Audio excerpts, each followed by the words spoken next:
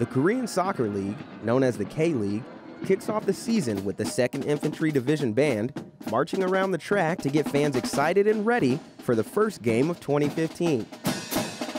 Today we got to play for the opening ceremony of the Korean Soccer League, and it's, uh, or as everybody else, else in the world calls it, the football uh, football league, and um, it's a wonderful experience as an American in a foreign country to be able to share our culture with another country, and it just being able to be shoulder to shoulder, and, and literally here you are shoulder to shoulder with the local community. For Chief David, the community involvement and the music almost came to an end, but playing for the Korean locals as a soldier kept his health and his career marching on. There was a point in my life where, um, actually it was just two years ago, where I it's, just, it's a little real, but uh, I, I, got into a medical, uh, an MEB because I was diagnosed with diabetes type 2. And um, I had to really do some soul searching of what I really wanted to do because my military career could have come to an end. But to be in the military, represent my country, and to play music. Because when it looks sharp and when it just sounds so good, you can't replace that. Senior Airman Devin Nothstine, Anyang Sports Complex, Korea.